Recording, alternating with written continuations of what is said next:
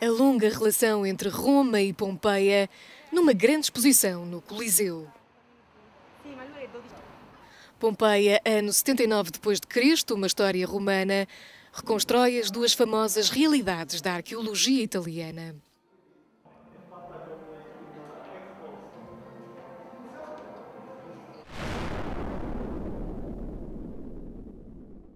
Estudou-se muito para compreender a história romana, a vida romana e porque é que Pompeia está tão bem preservada. A antiga cidade de Pompeia foi destruída durante uma erupção do vulcão Vesúvio.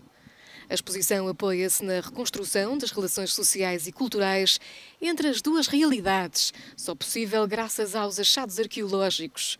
São quase 100 objetos prontos para serem admirados, juntamente com vídeos e projeções virtuais no Coliseu de Roma, em Itália, até 9 de maio.